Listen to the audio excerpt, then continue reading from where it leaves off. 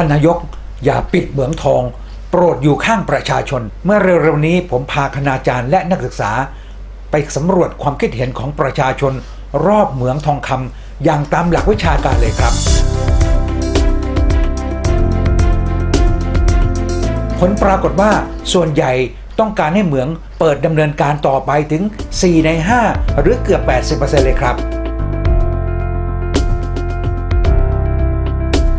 และถึงแม้จะไม่นับความเห็นของคนทำงานในเหมืองเนี่ยครับ ประชาชนในส่วนอื่นไม่ว่าจะเป็นเกษตรกร ค้าขายหรือรับจ้างทั่วไปอื่นๆนะครับ ถึงประมาณ 75%ก็ต้องการที่จะให้เหมืองดำเนินการต่อไปครับ นี่ไม่ใช่ผลการสำรวจเดียวนะครับ เมื่อปีพุทธศักราช 2555 ปรากฏว่า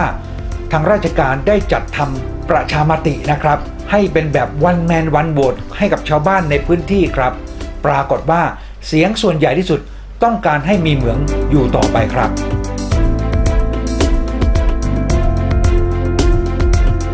ผมจึงอยากกราบท่านนายกนะครับ โปรดพิจารณายืนอยู่ข้างประชาชนคนในพื้นที่นะครับ อย่าได้ฟังเสียงอื่น ซึ่งไม่รู้จริงและก็ไม่ได้อยู่ในพื้นที่